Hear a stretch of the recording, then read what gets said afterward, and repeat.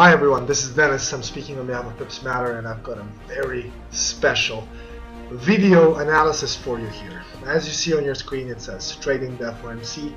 Today, 14th of June, we have the FOMC meeting coming out at 6 o'clock GMT. So, without any further ado, I'm going to be going over what's important. Well, a couple of important things that you need to know. Firstly, volatility is expected on USD, uh, gold, silver, and of course US stocks. Now when I say US stocks, I of course mean the S&P 500, the Nasdaq, and the Dow Jones. Now, very interesting play on the Nasdaq happening. We released an analysis about this earlier this week, actually yesterday. Uh, we've been buying it ever since yesterday. Things are looking really good for us and all the members that took the trades, which is literally everyone. So things are going really good and uh, we do expect a ton of volatility today but like this post says well if you're on our website you can read the post it says that volatility is good. Volatility equals risk and risk equals returns. So at 12:30 GMT we will get the final data release from the USA we will be receiving CPI inflation and retail sales at 12:30 GMT this will be the last piece of important data before the very important um, before the very important FOMC meeting later today. So US data has been very weak recently. Um, the CPI that's coming out today and retail sales they came out below expectations for two consecutive months this year so far. Um, right now this is the third release and uh, it's not looking very good. Expectations are still low. Um, but the rebound could assist the dollar to gain some strength.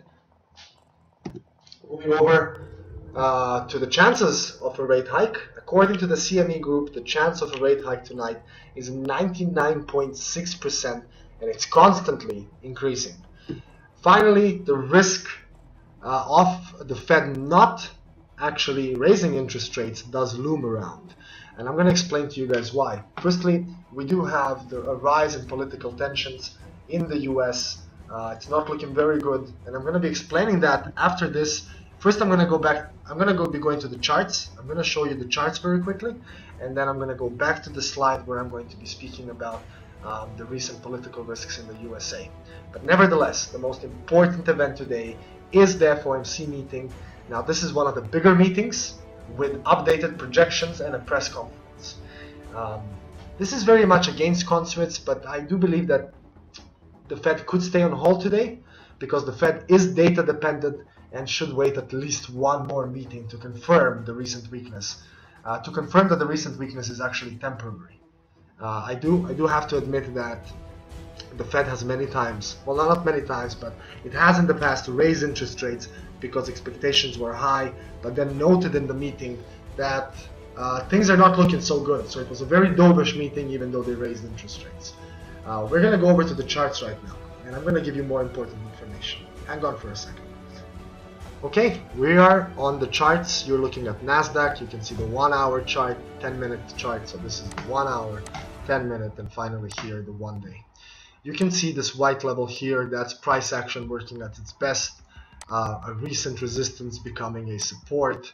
Uh, then we have the, the, the, swing down level here, the, the yellow level here.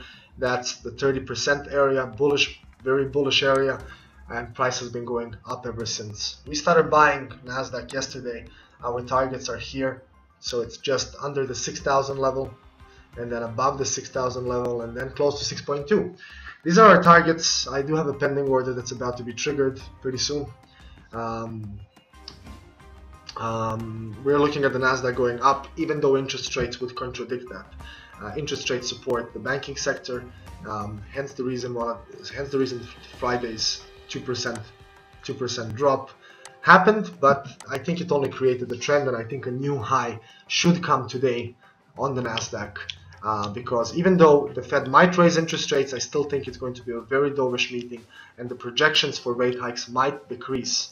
Um, Anyway, I'm not going to try and speculate on that. I'm speculating on price. That's where I make money, not on guessing what Yellen's going to say or what the Fed's really going to do.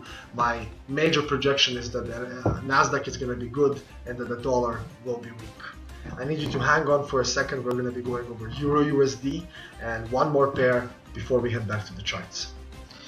On Euro USD, we also have three target levels. You're looking at exactly the same setup, one hour chart, 10 minute chart, and this is a weekly chart. So I'm just gonna go down to the daily just to show you what we're working on here. So um, the three target levels that we have are this.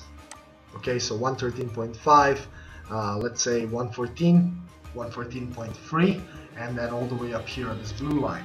biggest chances are that the blue line will be achieved today. That's a 300 pip move.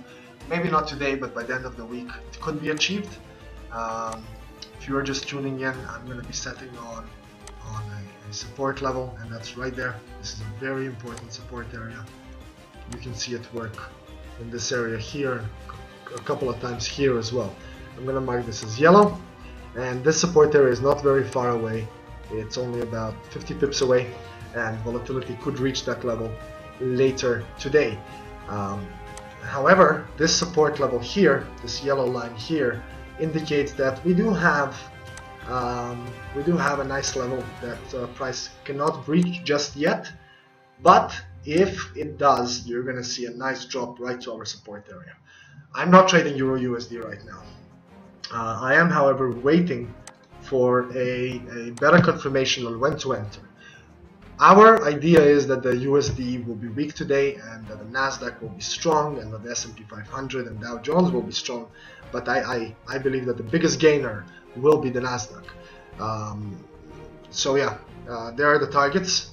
These are the buy targets that we're gonna have. If we enter a trade, we will let our members know. If you want to know when we enter a trade, you better become our member. Um, yeah, that's pretty much it. Let's uh, let's go over one more pair before we go into the charts. Okay, the final pair we're looking at is GBP USD. I kind of want to cover uh, the UK, the Bank of England meeting tomorrow as well in this uh, quick analysis and um, um, yeah let's just head into this. So today you can see that the GBP is trading a little lower after uh, after heading pretty high actually. It was it was all the way at 40 40 40 50 pips in profit um, for the day and now it's trading a little lower. Um, we are bullish on the pair in the medium term and uh, the long term. On the medium term 132 is our target. On the long term, our target is much, much higher. It's all the way up here at one, just under 140. So that's that's our second target for a buy. Um, we are, however, however, we are waiting for a retest of this area, and I'm going to show you this right now. We're waiting for a retest of this area, and I really think it, it could be happening, you know, tomorrow it could be happening today, um, but we're waiting for a retest of this yellow line. Okay, so that's what we're waiting for, something like this to happen. One sec. Some kind of an idea of a play like this. Uh, we have this major support here, this red one. I don't think this one will be reached, so I'm even going to remove it from here. But this one here, which is 200 something pips away, could be reached so on the short-term side, we are, you know, we're a little scared about trading the, the GBP USD up, but on the on the long-term side, we are absolutely not. We're going to be buying GBP on the long-term side, but specifically GBP USD. I'm not telling you I'm going to be buying pounds everywhere.